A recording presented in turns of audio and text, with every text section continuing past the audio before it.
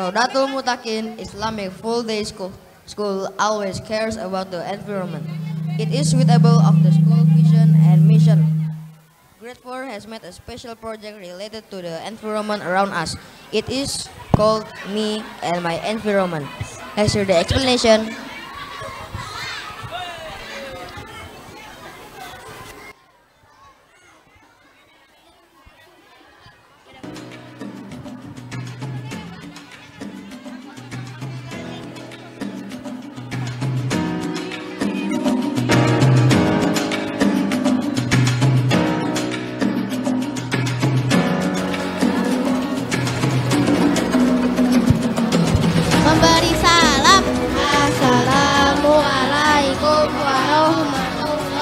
Wabarakatuh. Bismillahirrohmanirrohim Ayah bunda sekalian Di kesempatan yang berbahagia ini Kami akan menyampaikan P5 yang telah kami lakukan. Apa itu P5? P5 merupakan singkatan dari proyek penguatan profil pelajar Pancasila dalam kurikulum Merdeka. Dari proyek ini diharapkan kami semakin mantap menjadi seorang pelajar Pancasila. Seorang pelajar Pancasila adalah pelajar yang beriman, bertakwa kepada Tuhan Yang Maha Esa, serta berakhlak mulia dan berkebinekaan global.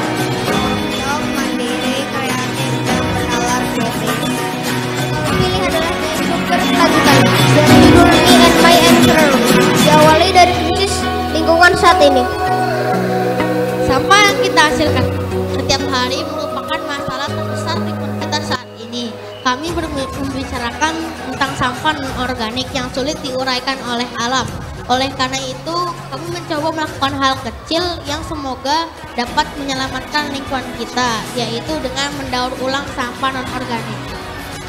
Berikut adalah beberapa karya yang kami buat menggunakan sampah non-organik di sekitar.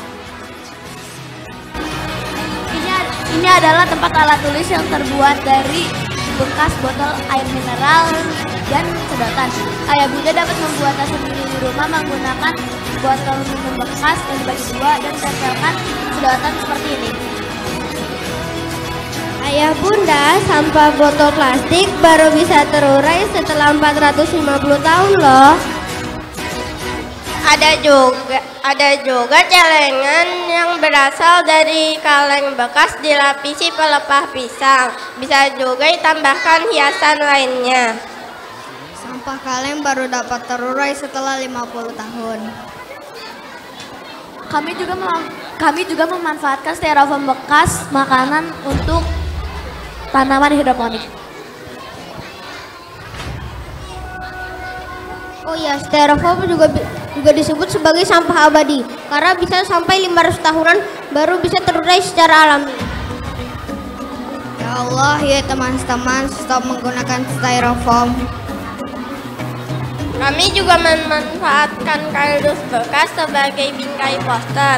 Posternya berisi ajakan mencintai lingkungan termasuk me- memilah sampah sesuai jenisnya. Bisa juga sebagai sandaran HP.